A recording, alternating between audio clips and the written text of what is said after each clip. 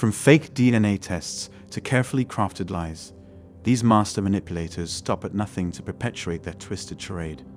Today, we're diving deep into one of the most despicable acts that can shatter lives and tear families apart paternity fraud. Prepare yourselves because we're about to expose the infuriating truth behind why some women engage in this deceitful practice and the devastating consequences they should face. You spent five years in prison for failing to pay child support for the defendant, Miss Sears' son, Dylan. That's right. Mr. Manser, you are not Oh, God. his father.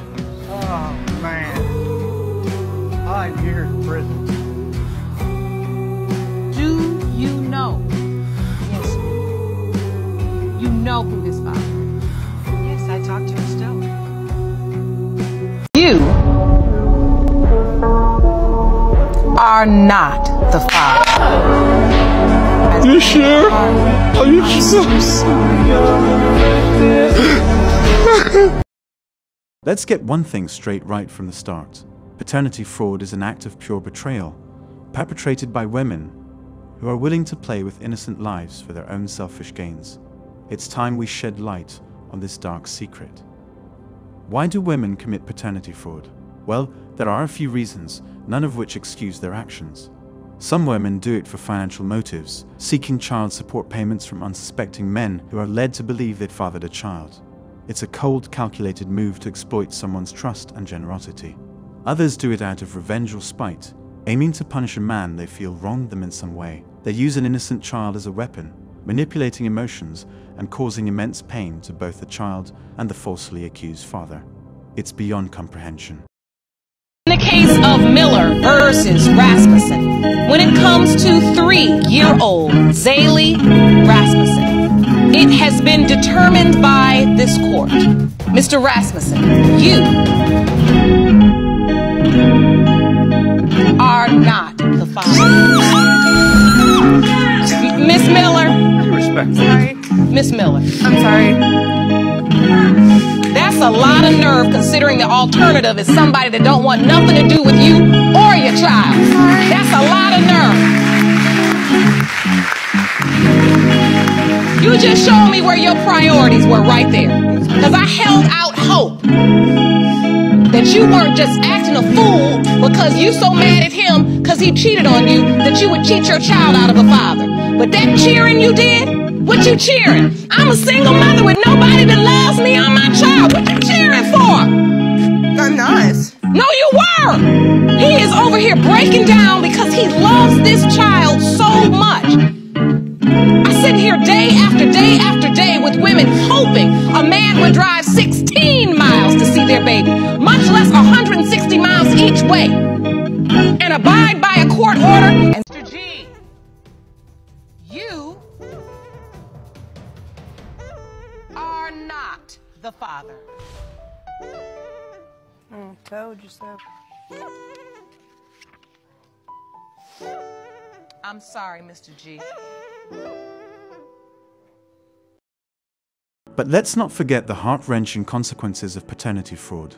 Innocent men are financially burdened, emotionally scarred, and robbed of precious time with their own flesh and blood. Children are denied the opportunity to have a meaningful relationship with their real fathers, forced to live a lie. These women who commit paternity fraud must be held accountable for their actions. They should face severe consequences, including legal penalties and financial reparations to the victims they deceived. Society cannot afford to turn a blind eye to such heinous acts. We need stricter laws and regulations to protect men from paternity fraud. Mandatory DNA testing at birth would ensure the truth is revealed, preventing any manipulation or deceit. Paternity fraud runs rampant in the United States and across the globe, and it's an absolute disgrace.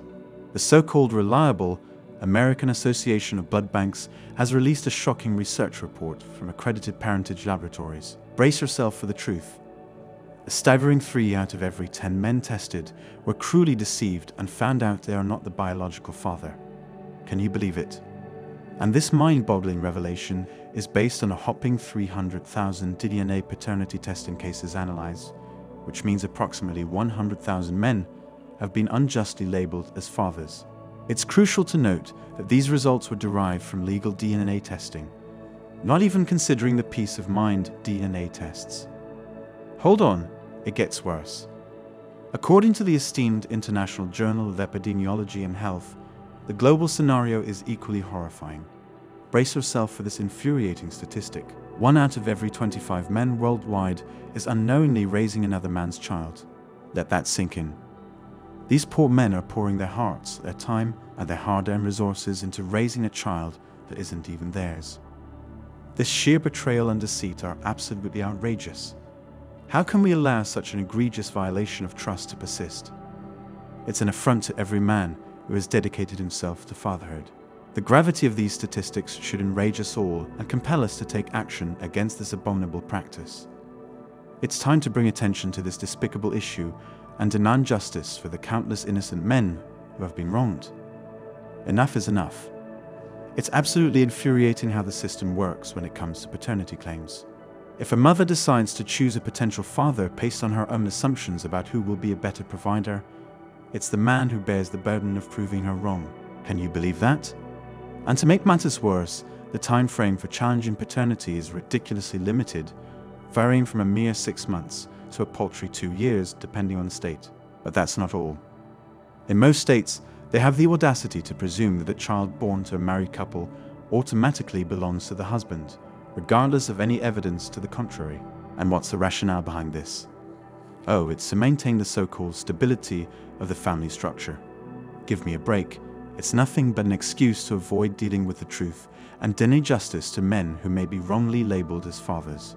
It's a damn shame that submitting DNA samples from a married couple is considered inappropriate by the courts. Are they afraid of upsetting the delicate balance of the family? Well, guess what? The truth matters. The rights of individuals matter. It's time to stop prioritizing an outdated notion of family stability over fairness and justice. This whole system reeks of bias and unfairness. Men deserve the right to challenge paternity claims without being constrained by arbitrary deadlines and presumptions based on marital status. It's high time we demand a change and fight against this grossly unjust treatment of fathers. That's all for today on Manhood, guys. Don't forget to smash the like and subscribe buttons, and also click on the notification bell to be the first to know when I drop a new video. If you find value in my videos, you can show your support through PayPal or Cash App. The links are in the description. See you next time. Cheers.